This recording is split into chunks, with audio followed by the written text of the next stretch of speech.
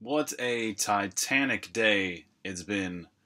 Um, I've gone through the crazy flow state today and was able to do some good stuff to the art and also some really good programming. Um, starting with the art, this is kind of how my day started. I was uh, working on the saturation values and just little things to, to make the art look a little bit better. And you can tell um, that this is from yesterday, right? This is kind of like the, see how green the background is? It's very saturated, the, the ground on the, it, well, the background and the ground. But uh, yeah, and here's with it a little bit less saturated, right? Things are a little bit uh, now easier on the eye. You're not as, uh, the, the ground really shouldn't be that saturated. But check out, um, one of the things I was always wanting to do was add stairs and uh, just play around with little different art pieces and things like that. And so instead of having the whole arena just sort of like curved based on um, based on how far you are from the center, it now actually has specific sections where which are stairs. And you can you can tell right here we have some stairs you can climb right? This is a nice sloped section, and then it becomes flat once you're on top of the stairs. This is what I wanted for the arena for a long time, and man, it really makes it a lot more fun. I also added these two little, uh, couple different places where you have these little tiny paths. So if you were to get into a battle right here, this would be, you know, you'd be totally blocked off, or you could block someone off. Um, and then we've got some another specific set of stairs right here that goes up to these items in these corners. That's the blink orb. Oh, hey, it even works. Uh, and then I added this, this little art piece right here, this sort of like maze-like thing floating in there. And there's also some one-way or some really tiny paths going from these items.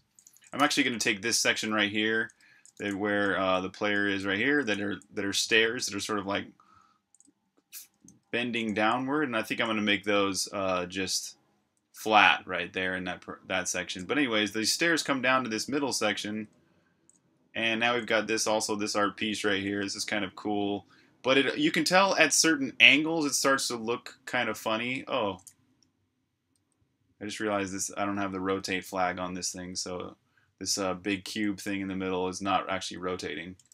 But that doesn't matter.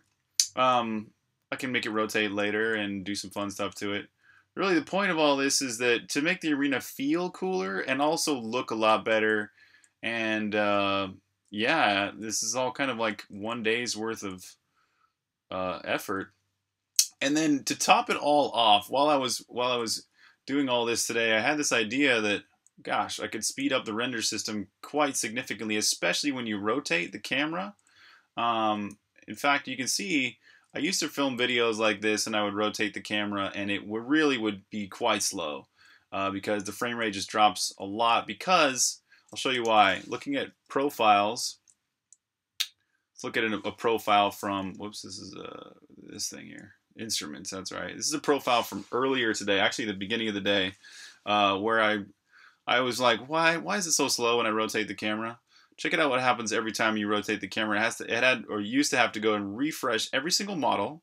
And inside the refresh model, it would have to multiply all these colors. This was taking three whole seconds out of 10 seconds right here just to rotate, just to apply colors, but also rotating by a certain degree amount.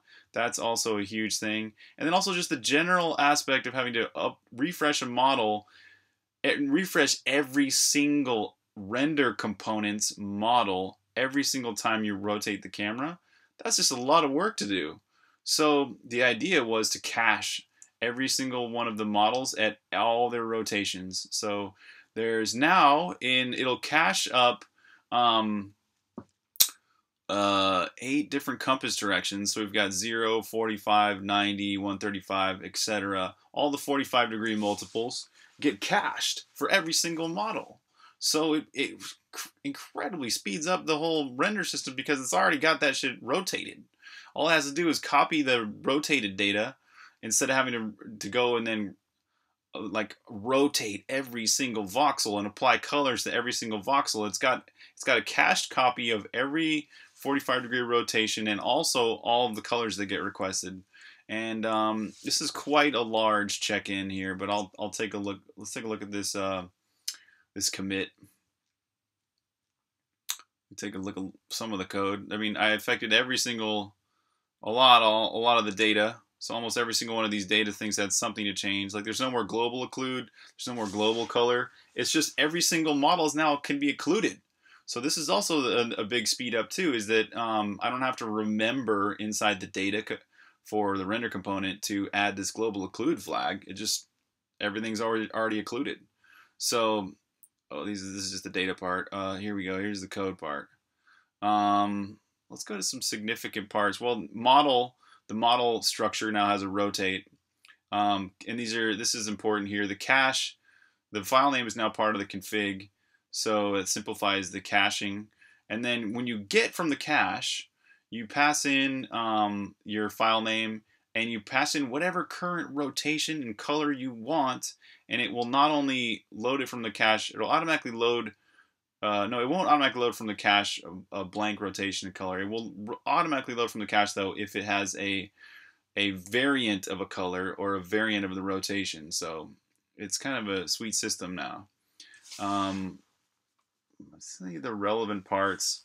This is kind of an optimization to load loading each voxel file. It actually has an original cache as well as its model cache. So the model cache is now basically by key, and um, here it is.